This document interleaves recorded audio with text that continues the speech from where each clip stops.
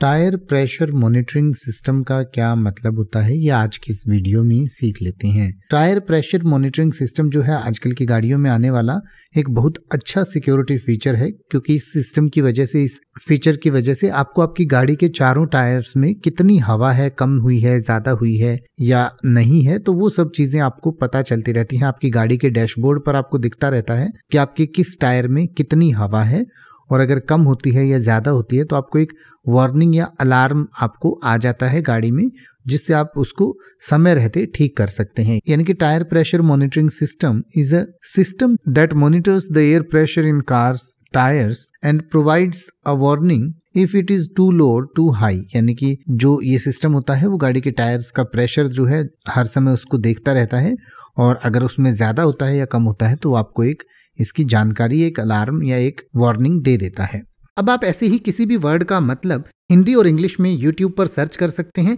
आपको मेरी वीडियो मिल जाएगी, जिसमें आप बिना किसी फालतू बकवास के सीधा उस वर्ड का मतलब समझ पाएँगे। तो ऐसी ही वीडियोस को देखते रहने के लिए चैनल को सब्सक्राइब करें और बेल आइकन को प्रेस करें।